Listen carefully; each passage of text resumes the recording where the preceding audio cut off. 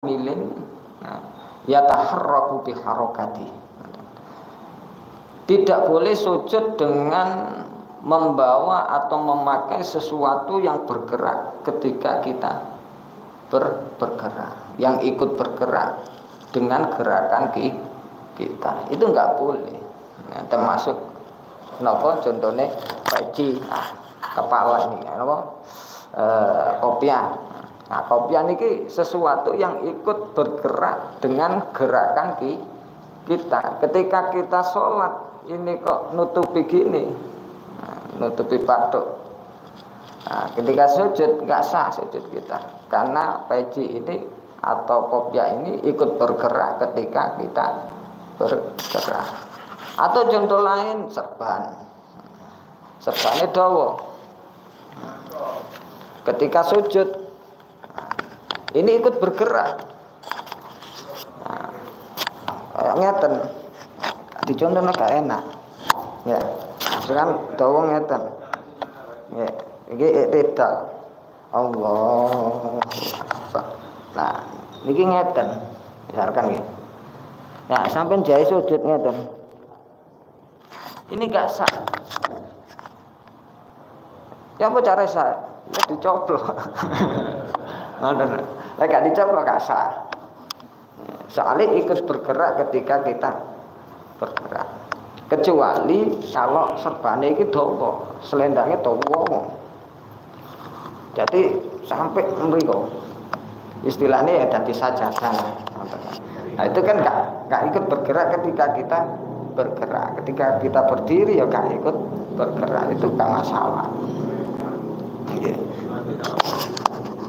Oke, lek tahu nggak ikut bergerak, pucuk etok nih. Atau dengan pakaian kita yang mungkin nopo lengane ini terlalu lebar. Terus digawe digawe sujud. Nah ini tidak boleh. Karena itu ikut bergerak dengan gerakan kita. Nggak boleh sujud dengan sesuatu yang kita bawa atau yang kita pakai yang ikut bergerak ketika kita melakukan gerakan sholat. Terus bagaimana kalau kita sujud dengan tangannya orang? Tangannya koncoi atau anak buah lah.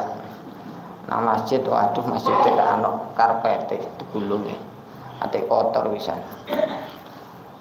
oh anak buah wong suki kan misoke dadi dadi salat dengan anak bae engko aku salat sujud tanganmu dek nang tatuku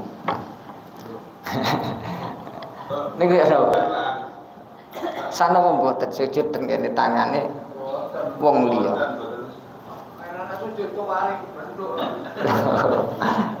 Sana wong boten nek ngoten. Lho. Syarat sujud niku kan Allah Allah yasjuda ala hamilin yataharraku ala mahmulin yataharraku biharakati tidak boleh sujud dengan sesuatu yang bergerak, yang kita pakai, yang kita bawa, yang ikut bergerak. Nah, tangane koncon itu mau kita bawa lah. Enggak. ya benar ikut bergerak, tapi gak kita gak kita bawa. Sehingga sujud di tangan orang lain itu ya kayak saja ada ngoten lho karpet gitu. Nah, kan nggak ikut bergerak, nggak kita bawa juga. Wah, ini.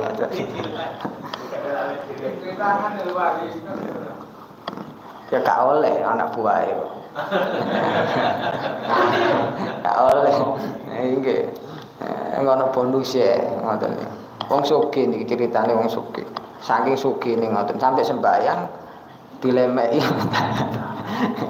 ambil tangannya anak buah ya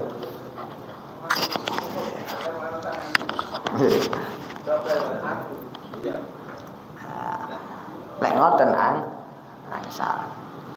Terus yang terakhir, niki syarat yang terakhir. Wal ashiru masuk rukun ini. Wal asyiru utawi kang nomor 10 iku atu makninatu